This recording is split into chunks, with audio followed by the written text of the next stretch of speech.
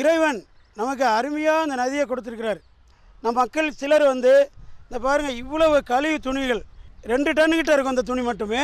இதை மூணு நாளாக இந்த பாலத்தின் மேல் பகுதியிலிருந்து இந்த ஒரு ஒரு இரநூறு அடி தூரத்தில் மட்டும் கலெக்ஷன் பண்ணியிருக்கிறோம். இந்த பரிகாரம் என்கிற மு இதில் துணிகளை கொண்டு போடுறாங்க.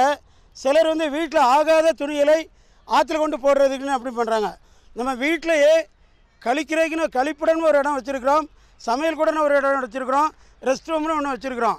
அப்போ அப்படி இருக்கும்போது நம்ம வீட்டையே அவ்வளோ தூரம் பராமரிக்கும் போது நம்ம வீட்டில் நிம்மதியாக இருக்கிறோம்னா இந்த வற்றாத ஜீவநதி ஓடிக்கொண்டு இருக்க போய் தான் நாம் வீட்டில் இந்த தண்ணீரை திறந்த உடனே தண்ணி குடிக்கிறோம்.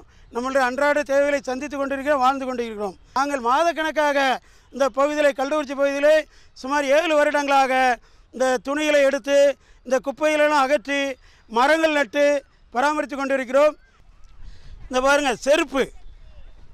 பழஞ்சு கிழிஞ்சு போன செருப்புகளை வந்து இங்கே போட்டு போயிடுதாங்க. இதே அவங்க வீட்டில் இப்படி அவங்க பாட்டு இஷ்டத்து போடுவாங்களா? பிளாஸ்டிக் ட பாட்டில்கள். வாராங்க குளிக்காங்க சாப்பிட்றாங்க அப்படியே டிஸ்போஸ் போட்டு போயிடுறாங்க இந்த பாருங்கள் நம்ம மதுபான பிரியர்கள் நம் சகோதரர்கள் இவ்வளோ பாட்டில் இந்த இடத்துல மட்டும் எடுத்துருக்குறோம்.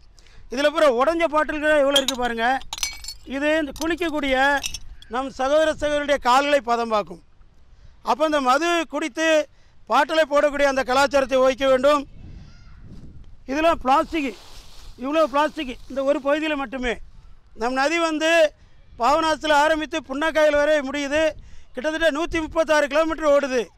ஒவ்வொரு பகுதியிலையுமே இவ்வளவு கழிவு துணிகளும் இவ்வளோ இதையும் போட்டால் நாம் குடிப்பதற்கு நீருக்கு எங்கே போவோம்? அசுத்தத்தை நாம் பயன்படுத்த முடியுமா? பூக்கள். ப்ரேயர் பண்ணுறாங்க ப்ரேயர் பண்ணி அந்த பூக்களை பிளாஸ்டிக் கவரில் சுற்றி பக்குவமாக தா போட்டுறாங்க இந்த பிளாஸ்டிக் கவரானது மக்காது. இதில் உள்ள பூக்களும் அதில் கிடந்து சாக்கடை போன்ற ஒரு நிகழ்வாயிரும். அந்த துணிகளையும் இந்த து இதை எடுக்கும்போது தான் அந்த உணர்வு நமக்கு தெரியும். அந்த இடத்துல சாக்கடை மாதிரி கிடக்கும். எவ்வளோ பார்க்க ஓட அழகாக தெரியுது. அந்த தங்கியிருக்க இடத்துல அதை எடுக்கும்போது தான் எடுக்கிற மனிதர்களுக்கு தான் தெரியும்.